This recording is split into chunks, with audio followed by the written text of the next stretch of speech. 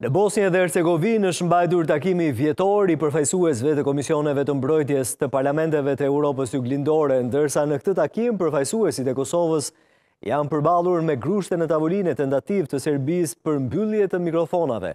Kështu ka njoftuar deputeti i Lëvizjes Vetëvendosje Arbër Rexhaj, anëtar i Komisionit për Siguri dhe Mbrojtje.